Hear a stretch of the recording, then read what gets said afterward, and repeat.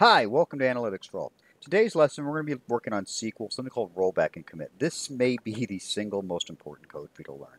What this will allow you to do is undo a mistake in SQL. If you've ever made a boneheaded move in a production server, you know how terrifying it can be. I once deleted a table out of a production server, and I thought I was going to lose my job over this.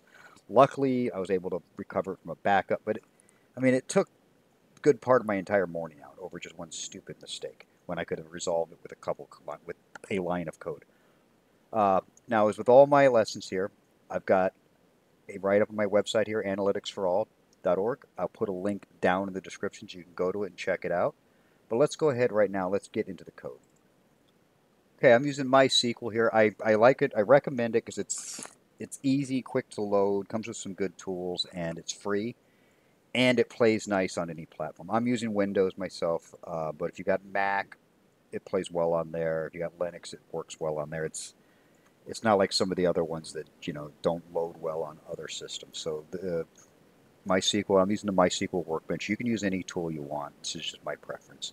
Uh, now we're using a tape database I built called DB Test. The first line should always be let you know what database we're looking at. We're using a table called employee. We're just going to look at it fast. Let's go ahead and see what we got.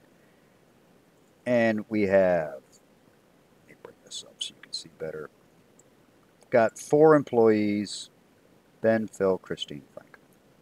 Okay, so if I do this, if I were to go say delete, if I could type better, delete employee, or delete from employee,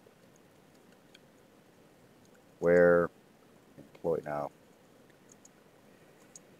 equals Frank if I ran this code, Frank's gone. I'm never getting him back. There's no way to recover it. It's over unless I go find a backup somewhere and restore the backup. Uh,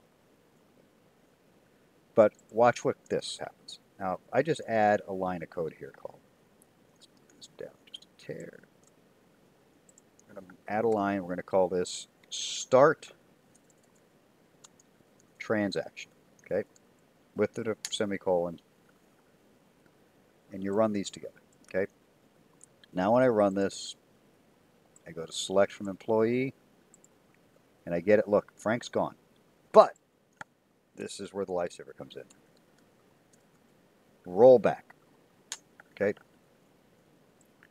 Run this. And he's there. Okay.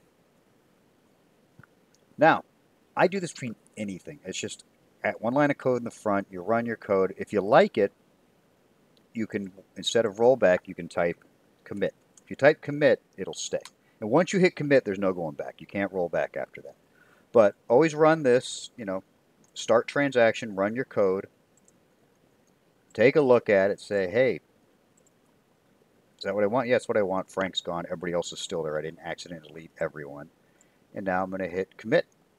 With commit, now when I run this, it's there and you'll notice I can't run rollback anymore because I just committed it. So I rolled back, but it's not going to do anything. See, still no Frank. But keep in mind you cannot use rollback if you don't start with start transaction. So always just, this is just a safety. It's two words before you run the code, run your code. If it looks good, commit, you're good to go. This extra second you do is going to save you so many headaches. All right?